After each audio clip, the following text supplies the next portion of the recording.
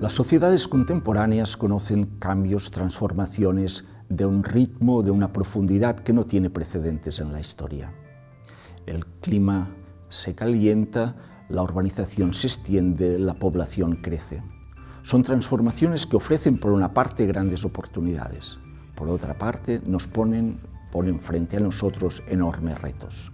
La geografía trata de comprender la velocidad, la entidad, el sentido de estos cambios y por otra parte proveer instrumentos para gestionarlos.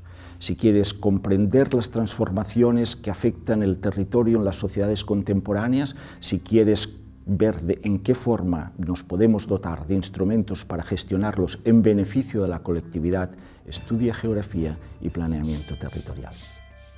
Estudiando el grado de geografía aprenderás a interpretar el mundo, lo que acontece a tu alrededor, la relación con los procesos sociales. A través de las clases en las aulas, pero también en las salidas de campo, adquieres un compromiso con lo que pasa a tu alrededor, en tu barrio, en tu ciudad o en el campo, y podrás acabar trabajando en diferentes espacios como la administración, la enseñanza, en espacios de gestión, de planificación del territorio.